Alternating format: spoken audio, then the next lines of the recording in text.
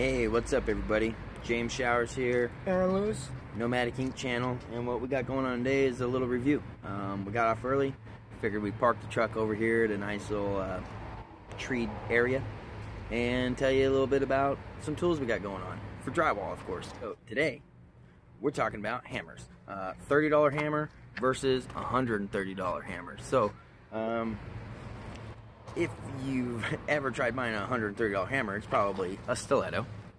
So we got the stiletto here, and this is for drywall. Um, and we're gonna tell you what we think about this thing, and uh, in a minute, what we would like to talk about first is a few of the hammers that most of you guys are probably looking at right now. These $30 hammers, they're um, in most of your Home Depots and uh, Lowe's and um, other little places. Any hardware store really that sells Stanley. Yeah, we also have a, a Vaughan. This is a wood wood handled hammer. So um, right now I'll just go ahead and talk about the hammer I use. Um, right now I've been using this Stanley Anti-Vibe. It's a 14 ounce. Um, I like the weight to it.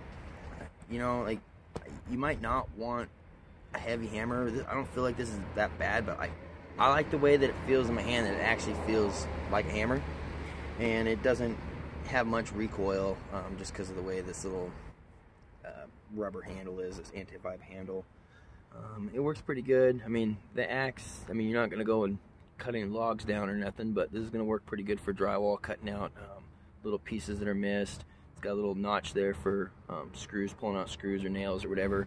Or One- Yeah, one uh, one thing I don't like is that it's got this full head. I kind of like it when they have the cut head, so when you're swinging this by the ceiling, you know, or something close, that it'll it doesn't have that doesn't have this head sticking up. Plus, it'll make more of a straight edge all the way across, as where you know this one's got this rounded bump. So I don't know.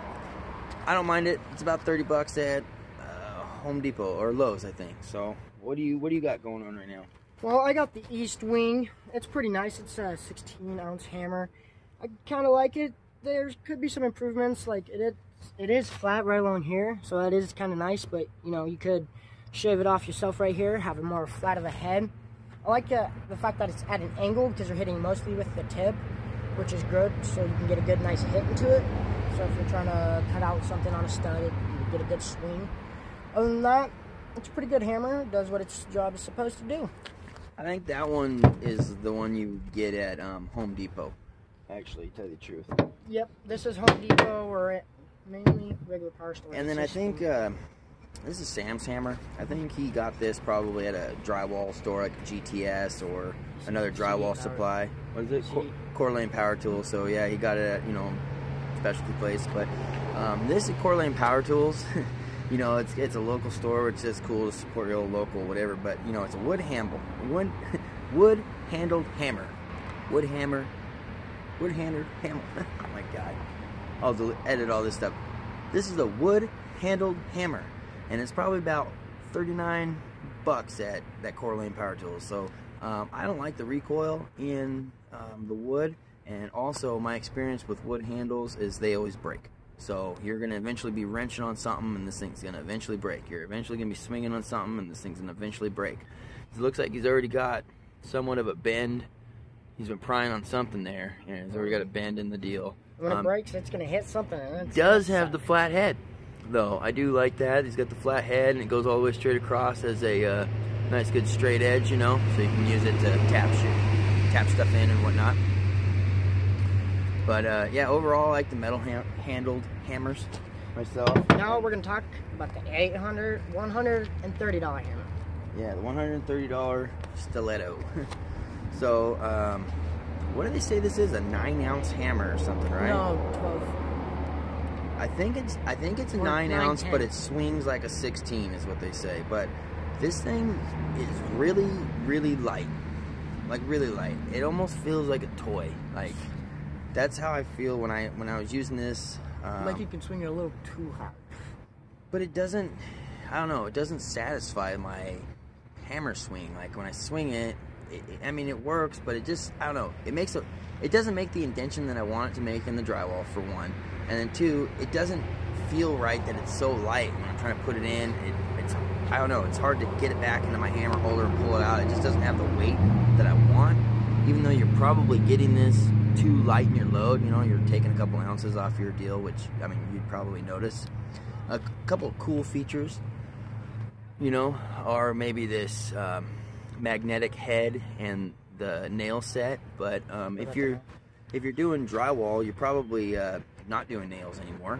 And I wouldn't ever use this to set a screw and then whatever. So I mean, I don't see the total purpose of that. Maybe there's some areas that you guys are still doing um, nails. Comment below if you are.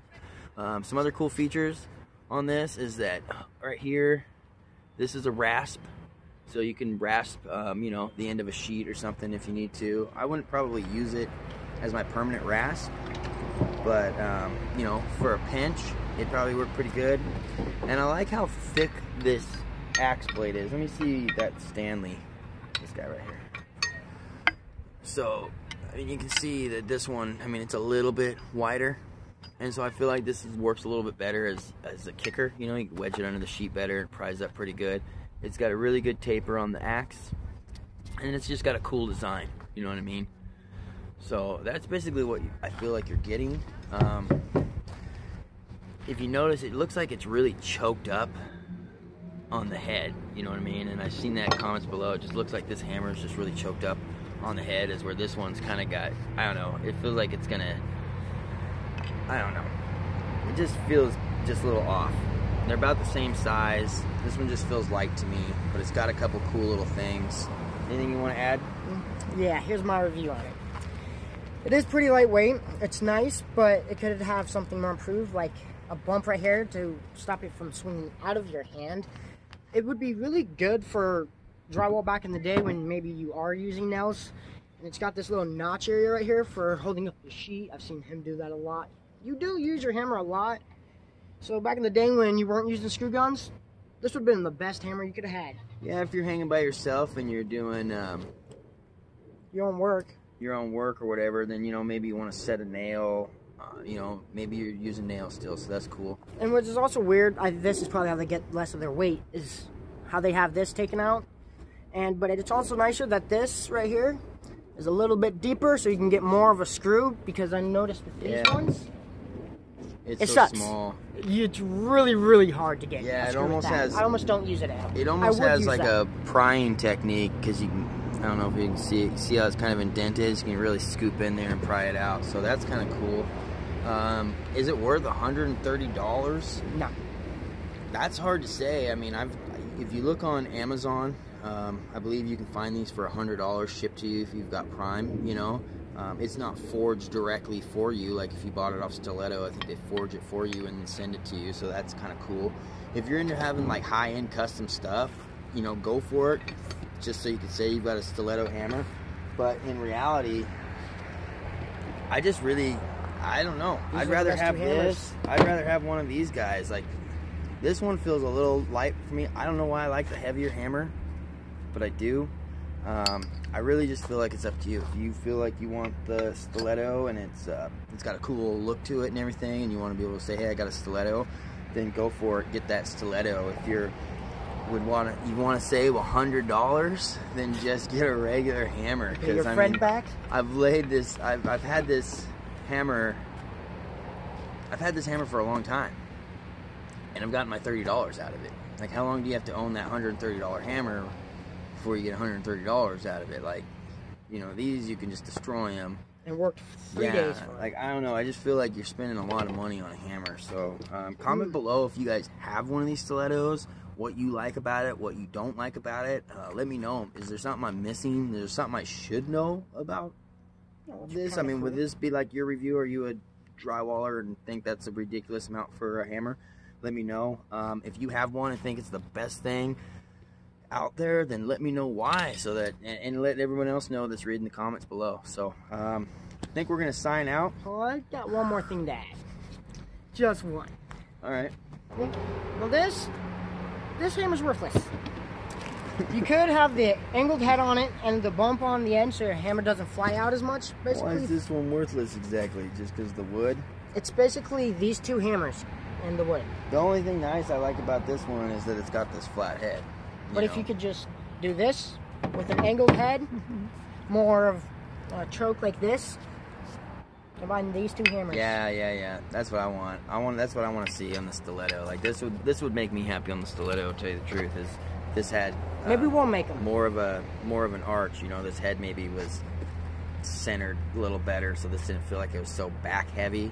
And then maybe if they put a weight at the bottom of this to just kind of counterbalance how light it feels on the stick end, like light, it just like I can't throw it out of your fish hand. it into my thing, you know, like or I'd buy this and just be like, look, I got a stiletto. I totally love it. So, um, yeah, that's our that's our little hammer review. Tell me what you used in the comments below. See you guys on the next video. Like, share, and subscribe. I don't know what else to say. Do a pose. Oh, doing a pose. Peace.